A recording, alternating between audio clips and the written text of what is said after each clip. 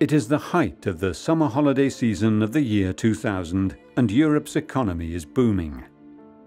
Paris's Charles de Gaulle Airport is bustling with tourists coming and going.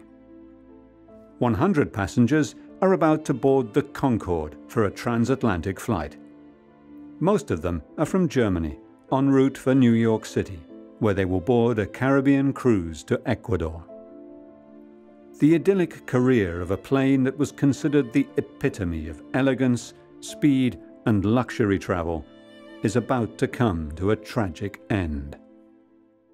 C'est vraiment la définition, on peut dire que c'est quelque part la définition même de l'accident. It is the definition. One can say it is the definition of an accident that happens when conditions are standard, normal, not catastrophic. The weather, the wind. Everything suggests a normal flight. And in the space of less than a few seconds, overall, maybe the whole thing was over in a minute we get one of the great catastrophes of aviation. Euh, une des grandes catastrophes, on va dire, de l'histoire de l'aviation. It was a whole chain of events, an error chain of events, and it was the cumulative effect of all these errors that led to that accident. It was nothing to do with design weaknesses in Concorde. These are the only moving images ever recorded of the Concorde on fire. It is clear that the giant of the skies is struggling to take to the air. Aboard, the passengers must know there's a serious problem. The charismatic captain, Christian Marty, is struggling with the controls to keep it in the air. A few seconds later, the Hotelissimo Les Relais Bleus is a pile of burning rubble Concorde Flight 4590 has crashed into it, destroying it in a ball of fire from the burning jet fuel. A sequence of apparently insignificant events ended up killing all 109 people on board and four on the ground. What actually did go wrong in the afternoon of the 25th of July 2000?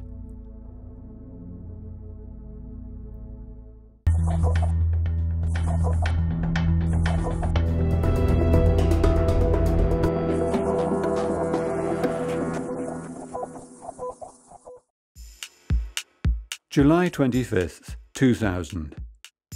At the controls of the Concorde, in the cramped cockpit of the supersonic airliner, is Christian Marty, 54 years old and the first man to windsurf across the Atlantic. He is a man of experience, a charismatic pilot. Aviation journalist Bernard Chabbert knew him well. L'équipage était commandé par un garçon absolument phénoménal et remarquable, Christian. The crew was captained by an absolutely euh, phenomenal guy who was both a high-level sportsman, the first man to cross the Atlantic on a windsurf euh, from Europe to Antilles, I knew him a euh, bit. I'd flown with him. My wife, who was a hostess with Air France, had flown with him often. He was truly remarkable. Euh, à cette époque-là, avait souvent volé avec lui. C'était absolument quelqu'un de totalement exceptionnel. First Officer Jean Marcot and Flight Engineer Gilles Jardinaud make up one of the most experienced flight crews in the business. It is about three in the afternoon and they are ready for takeoff. John Hutchinson flew the Concorde for 15 years. Somewhere before they requested the taxi clearance, the captain had requested the full length of the runway. The first few hundred metres of the runway were actually being resurfaced. And the tar, I presume, reminded him of this, and he said, No, no, no, I, I realise that, but I still want the full length of the runway. So they cleared him for taxiing for a takeoff for the full runway length. The aircraft begins to taxi down the runway. It has started from very far back as it will need all the runway for takeoff.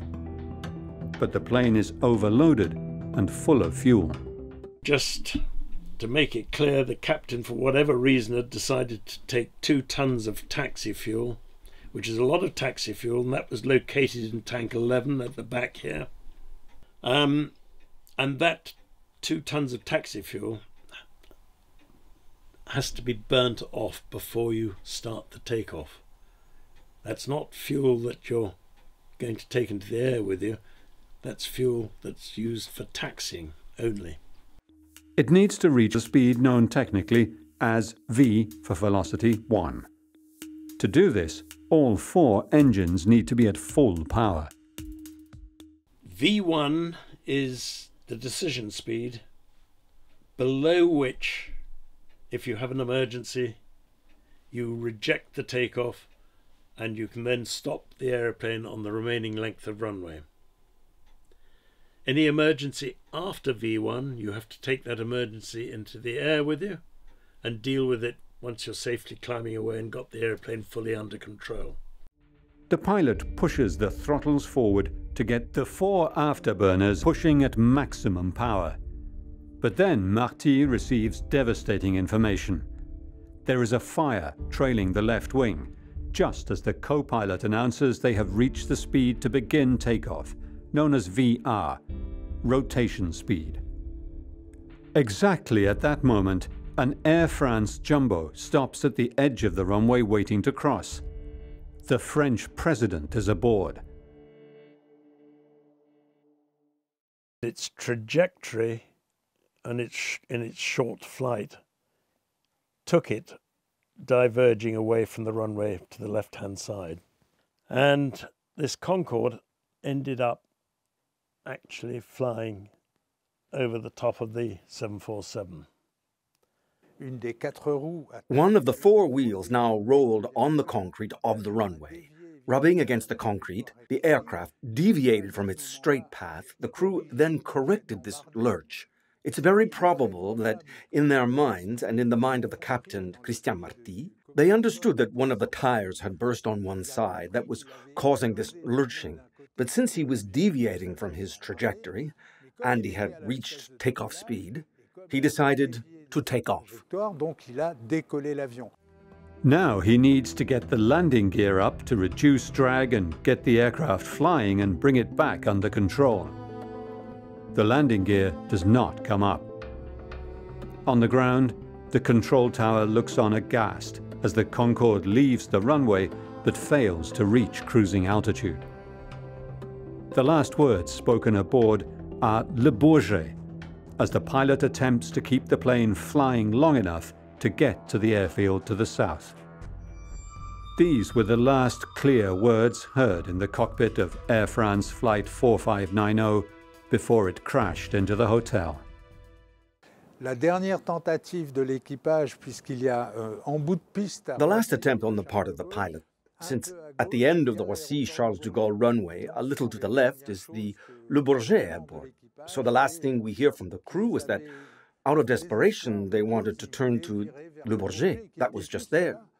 They were just 15 seconds away, but in any case, arriving on the Le Bourget airport, they would have crashed anyway because the landing gear, due to hydraulic problems, as they are controlled by the hydraulic energy of the aircraft, the undercarriage had started to retract and was blocked halfway and would not have been able to resist the weight of the aircraft, and the aircraft would probably have broken up on touching the ground.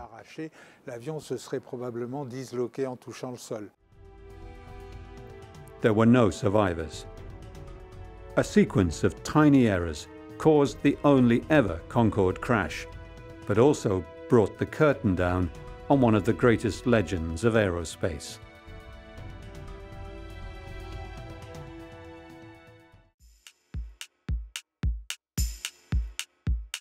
Toulouse, France, February 1969. The Concorde supersonic airliner takes to the sky for the very first time. This aircraft doesn't only push engineering boundaries, picking up where Nazi Germany had left off, but political ones too.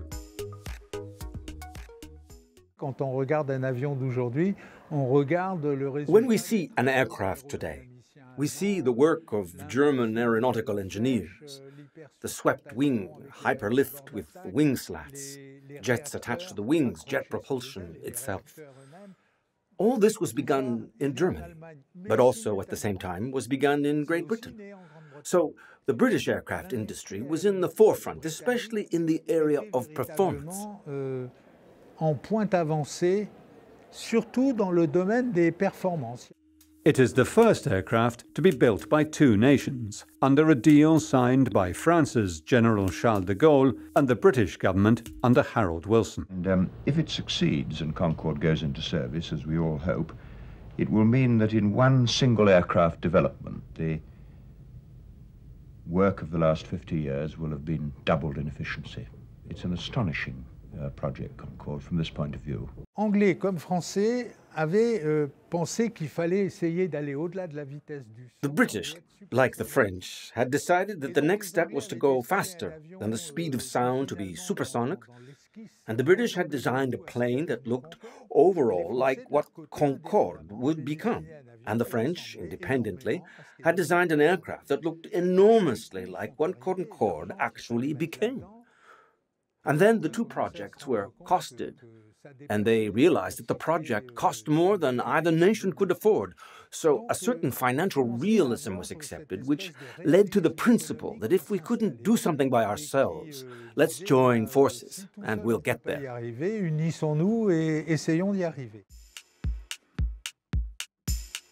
The aircraft itself was revolutionary. It built on precious experience gathered by Germany during the war in the use of jet propulsion and the original Delta wing, which helped lift the plane in takeoff and limit drag in flight. Sur Concorde, à cause de l'aile Delta. On avait choisi l'aile Delta parce que c'est la forme d'aile On Concorde, the delta wing was chosen because it allows for very high speeds, supersonic speeds, Mach 2 for example, but also because it's a wing that is light and from the designer's point of view, the wing needed to fly but also be light and strong, very, very strong from an aerodynamic point of view.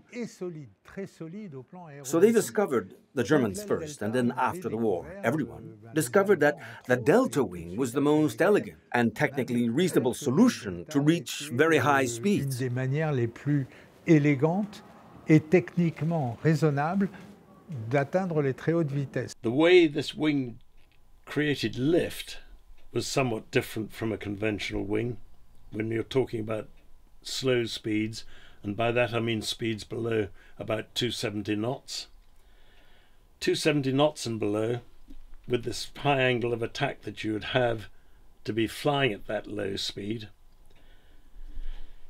the way you were creating lift at those low speeds was not by having a laminar flow over the wing surface, but by creating a massive rolling vortex over each wing and it was the low pressure within that vortex on each wing that gave you the lift. The Concorde's wing shape was a modified delta tested for months in wind tunnels to get just the right shape for maximum aerodynamic efficiency. To minimize drag, it soared so high that its maximum cruise altitude was 18,300 meters, or 60,000 feet passengers could see the curvature of the Earth. It had an average cruise speed of Mach 2.02, 2,150 kilometers per hour, or 1,330 miles per hour, more than twice the speed of conventional aircraft. The Concorde also had something no other plane had, the iconic droop nose. This special snoot was designed so the pilots could lower the front cone for better visibility during takeoff and landing, which had to have a very high angle of attack due to the plane's design. Well, there were various positions for the nose. Um, it was the nose fully up and the visor up, and that's, as you see it here in this model, streamlined, beautiful streamlined shape for high-speed flight. The first stage was to lower the visor, the heat shield, down into the nose cone, where it remains stowed. You'd then lower the nose to five degrees, and that was the position that the um, that you had the nose for takeoff, for taxiing around the airfield, and for flight in the airport area, in the terminal area. And then the final position was the nose fully down at 12 and a half degrees, and you only used that position um, for landing. The other feature of the Concorde was its four huge Olympus jet engines designed by Rolls-Royce. They provided 17,000 kilos of thrust each with afterburners, enough to push the aircraft to Mach 2, more than twice the speed of sound, or 2,146 kilometers per hour. Quand on va plus vite que la vitesse du son, when you go faster than the speed of sound, you have to slow down the airflow because the engine will never accept the airflow. It will refuse to take in air at supersonic speeds. It chokes and then stops. So, on the Concorde, over the space of just three meters, you have to take in air traveling at over 2,000 kilometers an hour and reduce its speed to 900 kilometers an hour over the space of just three meters. So the intake is equipped with moving panels that reduce the overpressure, that reduces the speed of the air, and allows the engine to take in air at a usable speed. Ralentir l'écoulement de l'air et permettre au moteur d'avaler de l'air respirable. Flying above 50,000 feet, basically you're above all the things that cause turbulence. You're above the jet streams, you're above the thunderstorms. So you're flying in this very calm, tranquil atmosphere. And it's the most uncanny feeling, actually. I used to pinch myself in disbelief almost on every flight I ever did, right through to my last flight. Here I was sitting there doing 1,350 miles an hour, Mach 2, 55, 56, 58,000 feet, and you had no sensation of speed at all it was almost as though you felt you were just hanging motionless in space and waiting for Mother Earth to spin around for your destination to arrive below and you then throttle back, re enter, and land. It was that sort of a feeling. However, not all of John's flights were that comfortable. One in particular remains in his memory. We were flying from Washington to London, and we were, I don't know, 55, 56,000 feet Mach 2 and I'm just about to eat a nice piece of steak, and suddenly the airplane started shaking violently, and I mean really shaking me around. And for a moment I thought, gosh, this is turbulence. then I thought, no, no, no, that's not turbulence. Um, being a bit slow on the uptake. Um, I realized then that it was a, a, what we call an engine surge at Mach 2. And um, there's a drill for that. And the first item of the drill is to close all four throttles, which is fine. It stops all the banging and the thumping and the shaking, but it's what's driving you along at Mach 2. So the deceleration is, is quite dramatic, actually. Fortunately, there is a way of overriding the aircraft computer, and the Concorde crew in question came up with an idea to avoid slowing the plane dramatically. We started this drill, and the flight engineer, who was a very switched on chap of very good friend of mine called Bill Brown, he spotted that the variable geometry intake for the number three engine, for some reason or another, had driven itself fully shut. It was in a position it should not have been in. And consequently, the number three engine was complaining like mad. And he said, Look, instead of going through the whole drill, can I just hard select the computer, the alternate computer for controlling that engine? And I said, Bill, if you think that's going to work, go for it.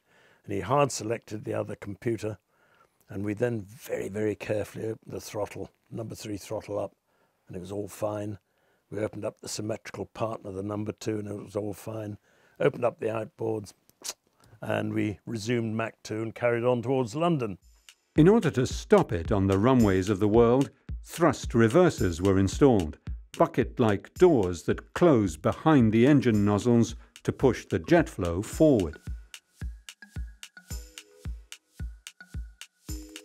Today, it takes seven hours to fly from London to New York. The Concorde could make the trip in just over three hours. The price tag was in proportion, over $11,000 round trip. and the service on board was touted as impeccable. A stratospheric, supersonic cocktail party in the air. I think the regular users of Concorde, your Rupert Murdochs, your David Frosts, they used it because it saved them time. It wasn't about comfort. If you want comfort, go first class. Um, I'm not going to pretend that um, that Concorde offered comfort in the way that you can get great comfort in a first class cabin in a in a modern airliner.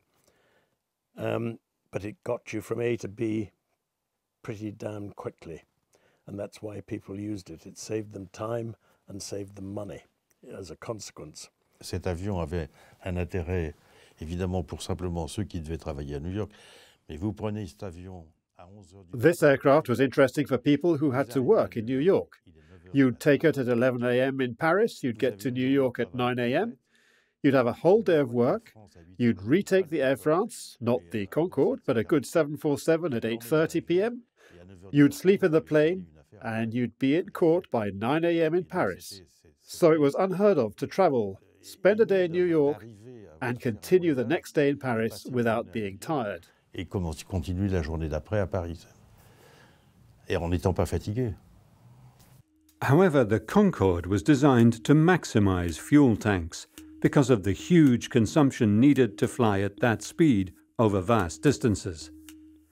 The whole wing, narrow as it was, was in fact a fuel tank.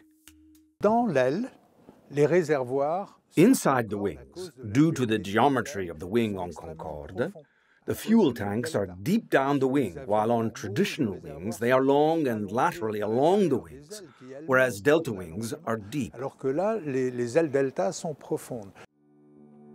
Concorde was fast, but also a heavy gas guzzler, required a specially trained crew, and was annoyingly recognizable to those on the ground below for its massive sonic boom, strong enough to damage windows. The Concorde was vulnerable in other areas too. The tyres had to withstand the enormous pressure of the four engines pushing at full power to take off. Over the years, the tyre specifications were improved, especially after a non-fatal incident in 1979 at Dulles Airport in Washington. Almost all orders for the design were cancelled by 1976 as ban the boom backlash over the Concorde's unmistakable sonic boom mounted. Eventually, only Air France and British Airways ever flew the Concorde. Les Anglais, ils, ils avaient euh, une ligne qui était très fructueuse, plus, plus fructueuse que la ligne française. The British had a very profitable euh, route, more profitable than the French route. The problem with this plane was essentially that it was not produced in large numbers, so it couldn't be developed over time. And a plane that can't be developed is stopped earlier than a qui ne peut plane that is constantly developed, such as the avec plutôt qu'un 747 that looks exactly the same as the original plane, exemple, le 747, but today is completely que nous avons different. internally with the mechanics, the avionics, nothing is the same. dernier que nous avons It's completely different because the plane was developed. rien à voir à l'intérieur. The Concorde was not developed, so it had to stop earlier than other différent parce que planes. l'avion s'est développé. Le Concorde ne s'est pas développé. Donc il fallait forcément qu'il s'arrête plus tôt que d'autres. Both British Airways and Air France continued their regular and costly transatlantic flights until 2003, three years after the crash of Flight 4590. They also rented out Concordes to premium travel agencies.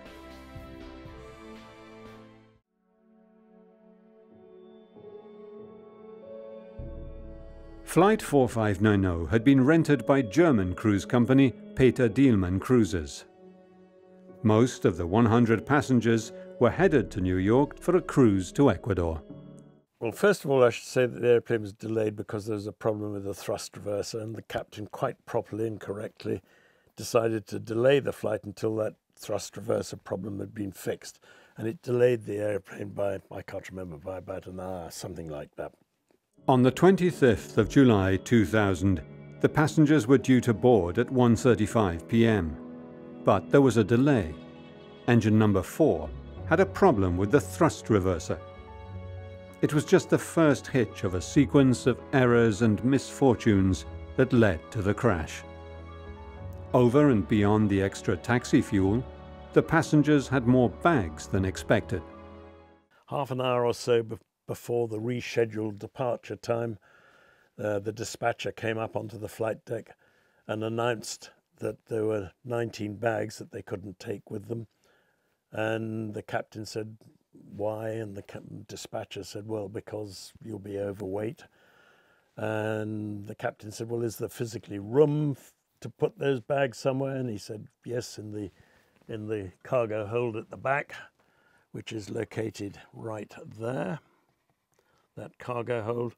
And there's 19 bags which were never weighed, never weighed, uh, were stuck into the airplane. One of the wheels on the left undercarriage had been replaced and was missing a spacer, a tool used to keep the wheels aligned in a single direction. And the fuel tanks were full to over the maximum takeoff weight, due to the extreme speed and fuel consumption the crew had planned to get the passengers to their destination as fast as possible.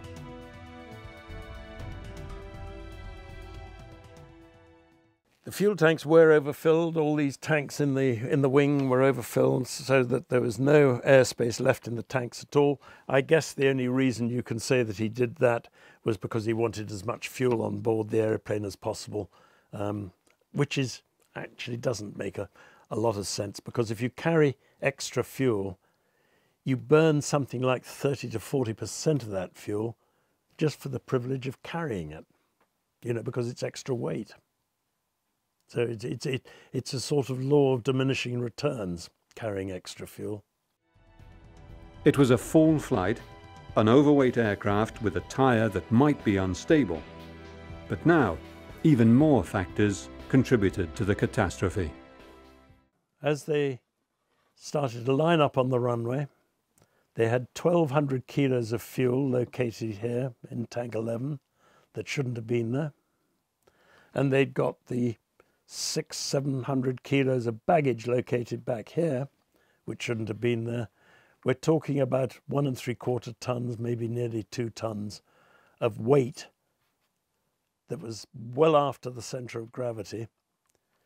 It put the airplane over the maximum structural takeoff weight and put it in a situation where the takeoff was being commenced with its C of G position, center of gravity position, aft of the approved limits. Marty requested not only the full length of the runway, but was also allocated a runway close to the terminal building. Marty had not noticed that the wind direction had changed. They not only accepted this clearance on 26 left in this overweight situation with the centre of gravity after the aft limits, they also accepted a clearance with a tail knot, a tailwind an 8 knot tailwind. The aeroplane, when you factor in the tailwind, was probably something like six to seven tons over the weight it should have been at. Quand on dépasse la composante vent arrière, when you go beyond the integrated factors of rear wind, mass, temperature, and a lot of other parameters, you change direction and you take off the other way round, into the wind. These are the super basics in aviation. So that day, if the aircraft took off, it took off because calculations had been done beforehand, again and again, shown to the crew who validated them. So there was nothing strange about taking off that day with that weight and the tailwind and so forth.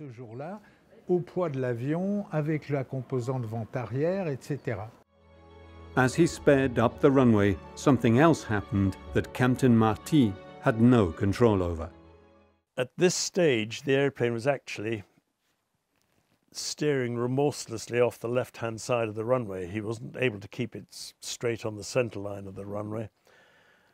And the reason for that was that he wouldn't have known this, of course, but the front right-hand wheel on the left-hand undercarriage leg had run over this piece of metal left by a Continental Airlines DC-10 it had sliced off a four and a half kilo lump of rubber, which had gone slamming into the underside of the wing by tank number five and caused that tank to rupture.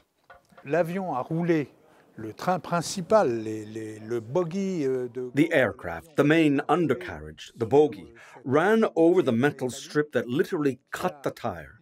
It's titanium. It is a hard metal, light euh, but hard. un métal extrêmement, euh, extrêmement solide, léger mais solide. There was no airspace in that fuel tank to absorb the energy of the shock wave that was caused by the impact of this four and a half kilo lump of rubber slamming into the underside of the wing with considerable force. Le, le, le choc the shock produced by this enormous chunk of rubber, thrown up with enormous energy, created a system of shock waves inside the fuel tank and eventually hit the bottom of the tank. The jet fuel began pouring out. And since it was takeoff, the afterburners of the engines were on. It all caught fire because they were vaporized due to the speed of takeoff. So the fuel was pouring out, but vaporized very fast. It all caught fire. The flames went back up to the wing. The spacer was missing on that undercarriage truck, and it skewed the wheels around because there's nothing now to keep the wheels locked in proper fore and aft alignment, and it was steering, physically steering the airplane off the left hand side of the runway. And the consequence of that was that the airplane was actually rotated not at 199 knots, but at about 183, 184 knots, something like 15 knots too early. And I guess that was because um, the captain could see that he was going off the side of the runway. La, la pratique, c'est de décoller the protocol is to take off, go around the runway, and take a little time to empty the fuel tanks in order to land at the right landing weight. So there comes a time when taking off is obligatory. They had passed the decisive moment. They were required to take off, and that's what they did. Il leur fallait décoller, c'est ce qu'ils ont fait. The crew reacted with the standard procedure in the event of fire without knowing what had happened, however. I believe that that engine was shut down unilaterally by the flight engineer. He'd seen this fire warning, which was a fire warning, but it wasn't a conventional engine fire. It was a fire warning caused by an overheated engine because this blowtorch of fuel was going right past the engine intake and overheating the engine. And that triggered off this fire warning. And he then just carried out a fire drill. He, he shut the engine down, fired the extinguishers without telling the captain at all. And this was conducted at about 25 feet radio altimeter height. The intense fire began eroding the trailing edge of the sail-like wing, precisely the control surface that he needed to lift the aircraft and straighten out. Flight 4590 took to the air just in front of President Chirac's jumbo jet, and these pictures were taken by one of the passengers aboard. So that day, Air France came within 20 feet of one of their Concordes hitting one of their 747s with a whole lot of passengers, plus the President of France and his wife on board. And I think that would have been a catastrophe from which no airline could possibly have survived. The media attention would have just been frenetic. Marty ordered the undercarriage up, but the plane refused. He had everything against him. He could not turn, so his co-pilot suggested flying to Le Bourget, just a few kilometers away. It was too late. These are the only moving images of the Concorde just after takeoff and already engulfed in flames. Flight 4590 collapsed onto the Hotel Hotelissimo Les Relais Bleus,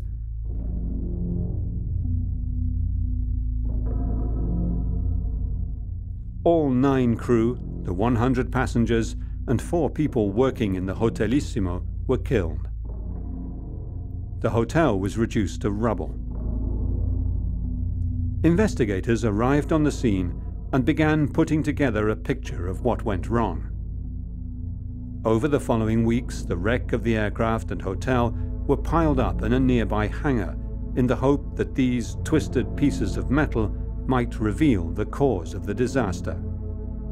The passenger list was examined, and although there were items of luggage whose owners could not be identified, investigators excluded terrorism. They checked the thrust reverser that had been changed and had caused a delay in the flight, but found nothing wrong with it. Investigators also examined the runway from which the aircraft took off, searching for clues. And this is where the first element came to light. A huge chunk of the left tyre was found on the runway. Concorde operators began mounting reinforced tyres after the earlier incident in 1979 at Dulles Airport, Washington, D.C. But French investigators would later find the Concorde's tyres burst 57 different times before the 2000 crash. Um, there was an incident, well, one I can remember quite clearly, where a Concorde had taken off from New York. It wasn't me actually, and the tower called this Concorde up after it had got airborne, said, "Is everything okay?" And they said, "Why?" And this, as far as we know, yes. Why? And they said, "Well, there's a lot of rubber on the runway." Right. Well, we've got no symptoms of anything wrong on the airplane at all, and the airplane carried on to New York. It landed at New York, got to the British Airways terminal there, and when they checked it out, a tire had blown during the takeoff and a whole lot of rubber had been ingested through the engine and just spat out of the back end, and the engine had kept running all the way across to New York. They are tires designed to withstand landings at 400 kilometers an hour. These tires are not only thick but reinforced. The rubber is incredibly solid and dense.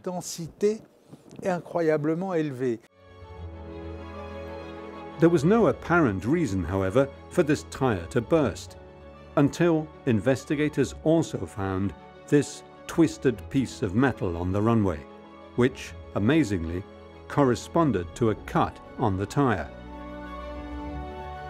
It did not take long for the investigators to identify where the piece of metal came from. A Continental Airlines transatlantic flight took off from the same runway just a few minutes beforehand. On inspection in its hangar in the United States, the titanium strip of engine cowling lining was missing. It had been poorly manufactured and even more poorly attached. L'accident est totalement imprévisible. C'est un avion qui roule. The accident is totally unpredictable.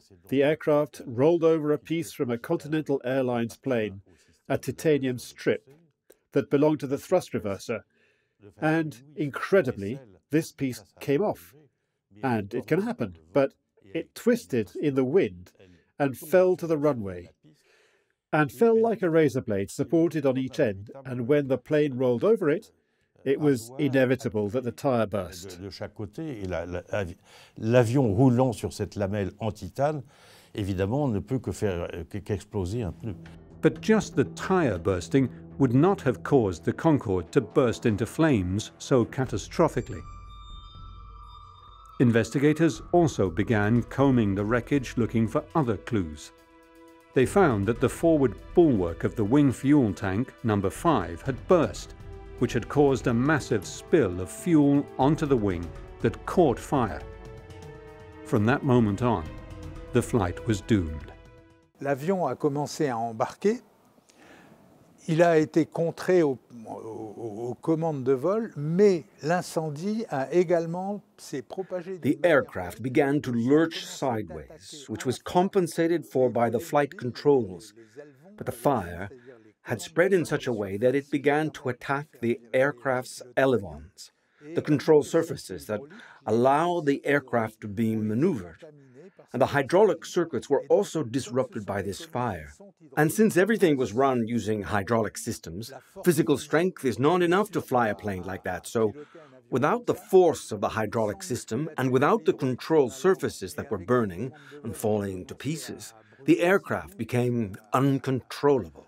Tombé en morceaux, l'avion est devenu totalement impilotable. If he'd been able to comprehend the sheer magnitude of the fire that he was having to deal with, he might well have decided, to hell with it, I'm going to just abandon the takeoff and take my chances because I do not want to take the airplane into the air with this great blowtorch of flame coming out of it.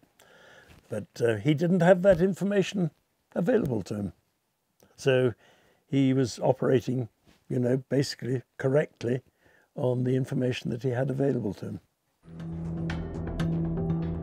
Christian Marty struggled to pull the aircraft's nose up because he could not see any other option than to take off. There was not enough runway to abort the takeoff, but nor could he fly around and land. In 2002, the controversial final inquest report was released. Continental Airlines was initially found responsible for triggering the sequence of events that cost the lives of more than 100 people and left the survivors of Hotelissimo traumatized. In that accident report, they blame two things. One is this piece of metal on the runway, and the other is that there were design weaknesses in Concorde. There were no design weaknesses in Concorde, in my opinion, absolutely not. The piece of metal on the runway that had been left by a Continental Airlines DC 10, a little titanium strip, that was a factor in the accident. But this was a classic aircraft accident. It was a whole lot of things that had been done wrong, that had gone wrong, and it was the cumulative effect of all these things that had gone wrong, been done wrong, that led to the final overwhelming catastrophe. Continental Airlines consistently argued the plane was on fire before hitting the strip, but that they were being used as a scapegoat to protect France's airline industry. A French appeals court in 2012 would eventually clear the US airline of any criminal blame, but upheld the finding that Continental did bear some civil liability. The British and French members of the investigation team diverged in their analysis of what went wrong. John Hutchinson believes the plane could have been on fire already as it began its takeoff run. 32 um, witnesses, very credible witnesses, testified to say that there's smoke and flames coming out of the left-hand undercarriage leg at a very early stage of the takeoff run. And almost certainly this damage was caused by when the airplane went over the ledge as it transitioned on its takeoff from the bit of runway where, where it was being resurfaced to the bit of runway that was was the correct runway surface. There would have been a slight ledge. As it went over that ledge, it triggered the left-hand undercarriage leg to sort of skew around in a bit because the spacer was missing. The French investigation blamed the fuel tanks. All Air France and British Airways Concordes were retrofitted with fuel tank linings. Le BEA a recommandé pour la remise en service de l'avion the euh, BEA recommended that before the aircraft was returned to service, the inside of the wing fuel euh, tanks be lined with Kevlar. Kevlar stops large leaks. Le Kevlar a pour, pour effet d'éviter les grosses fuites. Tires were yet again reinforced. There was also some criticism of the maintenance of the Air France aircraft due to the lack of spacer on the left tire, which may have caused the machine to deviate from its course up the runway. But this was found irrelevant in the incident. Air France and Continental together paid out over $100 million in compensation to relatives. Alors, il y a eu une transaction d'abord sur le plan civil Il y a une transaction entre Air France There was a civil transaction between Air France and the families of the victims that was well received by the victims, who were satisfied. And when the trial began, the British lawyer, or the victim's lawyer who was in London at the time, was interviewed by the BBC. And when asked if he was happy that the public trial was about to begin, he said, No, because there's no point. They've been rapidly and adequately compensated, and all this trial does is to bring back their suffering. Elles ont été rapidement et correctement indemnisées et ce procès ne fait que raviver leur douleur. The plane that was once an engineering achievement and the pinnacle of luxury travel is now simply a museum exhibit. It can no longer be admired on the tarmac at airports around the world, but enthusiastic visitors still flock to museums in France and Britain to get a look inside the supersonic jet that could cross the Atlantic in just three and a half hours.